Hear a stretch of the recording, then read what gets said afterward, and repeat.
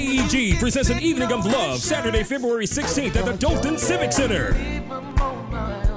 Starring Sir Charles Jones, Sir Charles. Glenn Jones, featuring Tony Terry.